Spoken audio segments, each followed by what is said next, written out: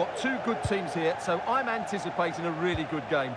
The atmosphere is electric inside the stadium before kick-off, and hopefully we're not disappointed.